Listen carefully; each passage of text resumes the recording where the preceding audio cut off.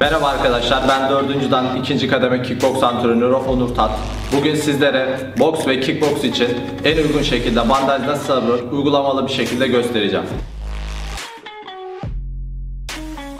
Öncelikle bandajı neden sardığımızdan biraz bahsedeyim. Bandajı sarmamızın amaçlarından bir tanesi eldivenin içinde elimizin tarak kemiklerini ve bileğimizi desteklemesi için aynı zamanda da eldivenimizin elimize daha iyi oturmasını sağlar ve eldivenimizin içindeki teri çeker.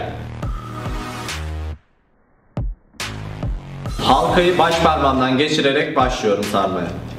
Halkayı baş parmağımdan geçirdim ve bileğimin üst kısmından alıyorum. İki tur bileğimi sarıyorum. Ve sonra bütün parmaklarımı sırayla tek tek saracağım. Öncelikle işaret parmağından başlayacağım.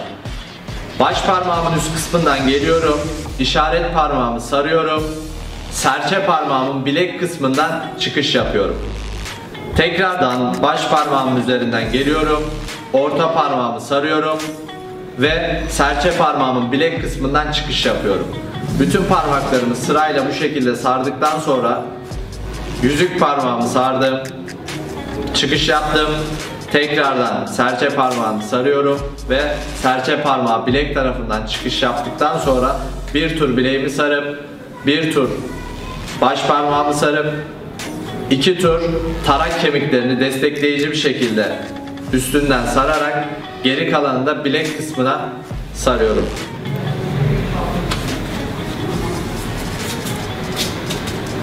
Ve avuç içlerini doldurmuyoruz arkadaşlar. Avuç içlerimiz boş kalıyor. Yumruğumuzu sıktığımızda daha rahat bir yumruk sıkabilmek için avuç içlerimiz ve tarak kemiklerimiz destekleyici bir şekilde sarma yöntemi.